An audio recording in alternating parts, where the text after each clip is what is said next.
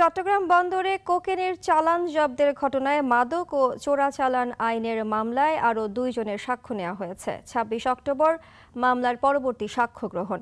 দুপুরে চতুর্থ অতিরিক্ত মহানগর, চট্টগ্রাম মহানগর দায়রা জজ শরীফুল আলম ভুইয়ার আদালতে এই সাক্ষ্য গ্রহণ হয়। দু হাজার পনেরো সালের সাত জুন চট্টগ্রাম বন্দরে একটি কন্টেইনার আটকের পর একশো সাতটি ড্রামে তরল কোকেনের অস্তিত্ব ধরা পড়ে।